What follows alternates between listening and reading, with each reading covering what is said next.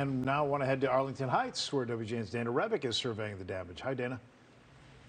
Hi, well, here in Cook County as well as in Lake County, uh, similar conditions as to what Jenna mentioned. You can see these shrubs next to me. There's a coating of ice on them, some slippery road conditions, and even some trees that were brought down not far from here. Kind of cold, really rainy, and terrible. That about sums up the conditions across Lake and Cook counties tonight. The freezing rain and wind doing some damage in Arlington Heights. Take a look at this huge tree trunk that snapped and fell onto a detached garage in the 400 block of West Mueller Street, also damaging an SUV inside.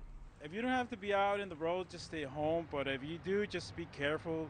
Um, drive slowly and take your distance from cars because it is kind of slippery. To the north, snowplow driver Roberto Tellez says he saw some of that ice as he spent the day around Lake Forest and Glenview. In Waukegan, the Public Works Department responsible for treating more than 250 miles of roads. Their trucks busy today laying down salt and liquid de-icer. Trying to keep the streets open and make sure everybody gets home safe tonight. Treating bridges and overpasses a top priority as the temperatures drop to keep them from freezing over. Driving home tonight, sure, I don't want to slip off the road, but these crews are pretty good at what they do. Jim Ray in Arlington Heights helping fix a water main break tonight will be driving back to Chicago. He's ready for winter to be over. Give me summer. Give me 85 and sunny. This is terrible. I'm done with it. I don't want it anymore.